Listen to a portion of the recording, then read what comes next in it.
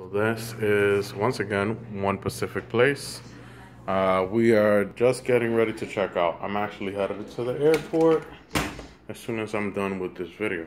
Just wanted to give you guys a quick room tour of the one bedroom here at One Pacific Place.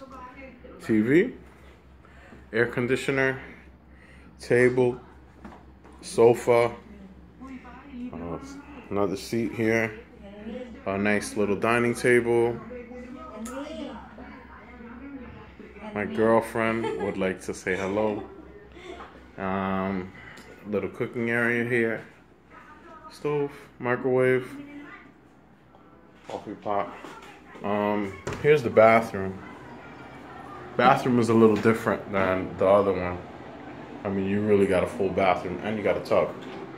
Another cool thing that you got is I just came in through the kitchen, but there are two doors.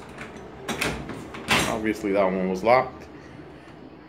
And voila, I'm in the bedroom now.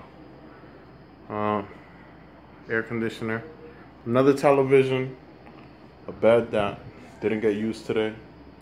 I only I was only here for one day because I got a really good price.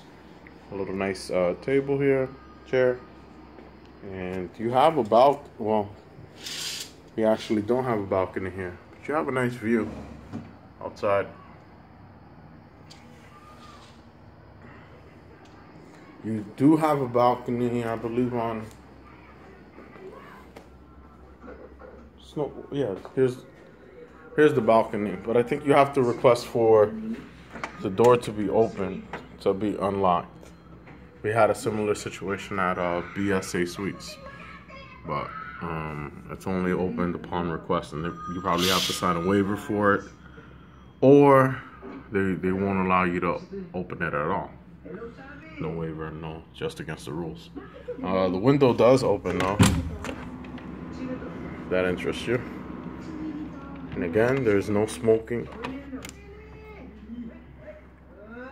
That's that's pretty much it. Not much else to it. All right, this is Aerial Penn signing off. Um, Adios.